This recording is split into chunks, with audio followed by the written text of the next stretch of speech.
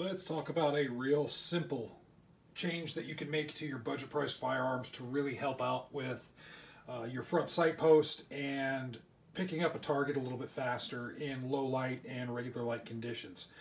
And that simple upgrade is fingernail polish, believe it or not.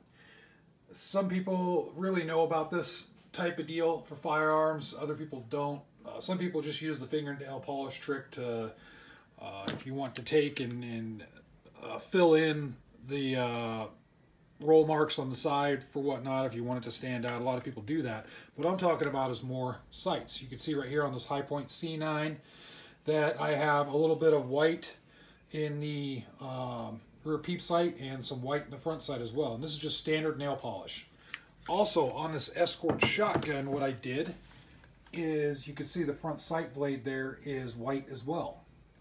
So uh, the reason I did that is because while these normal sights are easy enough to pick up, it's better if you have some sort of contrast.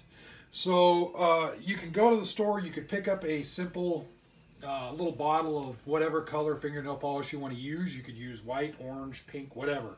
It doesn't matter. I'm just fond of white. I'm used to white, so that's what I put on both of these uh, sights and it works out really good. You can get just a little bit of fingernail polish remover as well and some Q-tips so that way if there's a little bit of overpaint you can clean up the lines and whatnot and that especially is true for right in here. Uh, this when I painted this rear peep sight on this Hi-Point I ended up getting a little bit on the sides and I had to use the fingernail polish to get that done. The front sight here, Hi-Points, they have those yellow front sights, and that was fine, but I wanted it to match, so uh, that's what I did. And just to show you, that's kind of the contrast I have right there. So um, it's really easy, simple upgrade. I mean, I can't talk about it too long. Uh, I just wanted to show that to you guys and let you guys know that uh, it's really it's something that really makes a difference. And where you're going to see this is in low light. In regular light, of course, you'll see a difference, but I think where it really makes a difference is in low light or if you're in a situation where um, a lot of your backdrop is in darker colors. When you have straight black sights, when you're when you have a backdrop that's darker colors, sometimes it kind of tends to blend in. But this, you have a good contrast, especially on the shotgun. This entire thing, the back of the blade is white, and that's really going to make a huge difference when it comes to um, if I'm out in the woods or whatnot, or if I'm, you know, if I'm using this in any type of low light, it's going to make a huge difference. So in any case, just wanted to point that out to you guys. Just take a look at that and um, I recommend it for budget firearms that have fixed sights such as these. Like, you know, you got like the Cobras as well.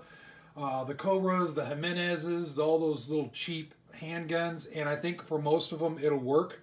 The Hi-Point, it worked out really well on because uh, the front, even though it's molded into the slide, it's recessed a little bit. So it really took that paint well.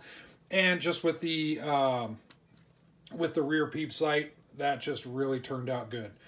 So in any case, uh, for most of the cheaper firearms out there that have the sights cast into the slide or like the cheaper shotguns that have just the blade on them on the front, that'll work. Um, you can do it for the bead shotguns uh, and make it a white bead, but uh, most of the shotguns I've dealt with, they just have the kind of brass bead or whatnot, and that's that's enough contrast right there. I don't worry about painting it, but you certainly can if you want. Anyway.